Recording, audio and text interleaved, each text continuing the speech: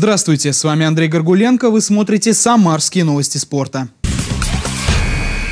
Пляжный футбольный клуб «Кристалл» в Самару приехал только за титулом. В чемпионате России этого года они уступили в финальной игре московскому «Локомотиву». Поэтому для петербуржцев Кубок России – это отличная возможность закончить сезон на мажорной ноте. Для нас сложный турнир, и в этом году у нас неудача складывалась Лига чемпионов чемпионат России.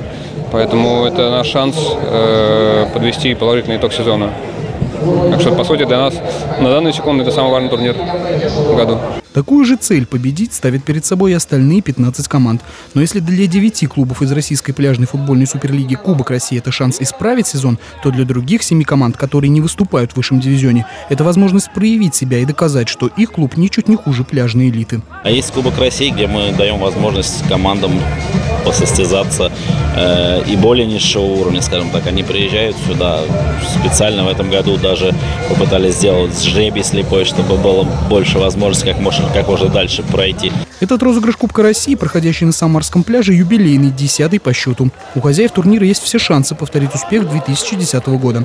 Тогда крылья Советов на своих песках стали обладателями престижного трофея. Крылья Советов заняли в чемпионате России седьмое место, поэтому э, сейчас они у себя дома перед своими болельщиками.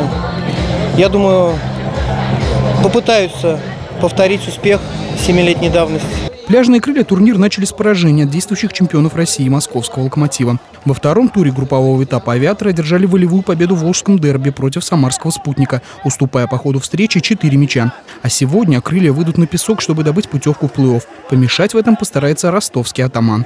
Четвертьфиналы Кубка России пройдут 7 сентября, полуфиналы 8. Главная игра турнира 9 сентября на Первомайском спуске. Это все новости к этому часу. Больших побед вам! Удачи!